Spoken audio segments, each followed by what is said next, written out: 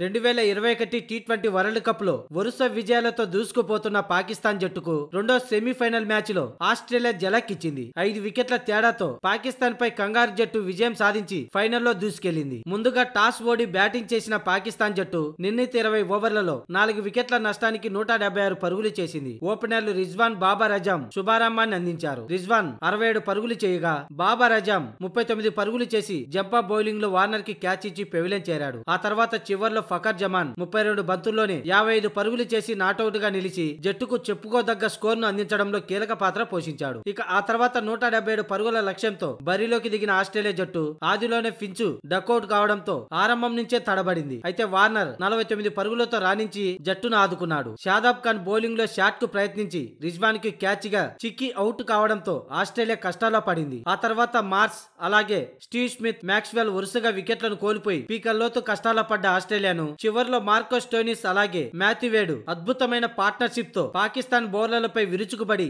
ఆకాశమే హద్దుగా చెలరేగి మరో వికెట్ పడకుండా మరో ఓవర్ మిగిలి ఉండగానే విజయాన్ని సొంతం చేసుకున్నారు. మార్కో టోనిస్ ముప్పై ఒక్క బంతుల్లో నలభై పరుగులు చేయగా మాథివేడు వీర విహారం చేశాడు. కేవలం పదిహేడు బంతుల్లోనే రెండు ఫోర్లు నాలుగు సిక్సర్లతో నలభై ఒక్క పరుగులతో విధ్వంసం సృష్టించాడు. పంతొమ్మిదో ఓవర్లో షాహీన్ అఫ్రీది బౌలింగ్లో వరుసగా సిక్సర్లతో రెచ్చిపోయి మరో ఓవర్ మిగిలి ఉండగానే విజయ్ బేరి మోగించింది ఆసిస్ జట్టు. అయితే చివరి ఓవర్లో లో వేడ్ క్యాచ్ను జారవిర్చడంతో పాకిస్తాన్ మూల్యం చెల్లించుకుంది. అదే అదనుగా అఫ్రిది బౌలింగ్లో సిక్సర్ల వర్షం కురిపించాడు మాథివేడు పాకిస్తాన్ సోగం ఓటమికి కారణం ఇదే.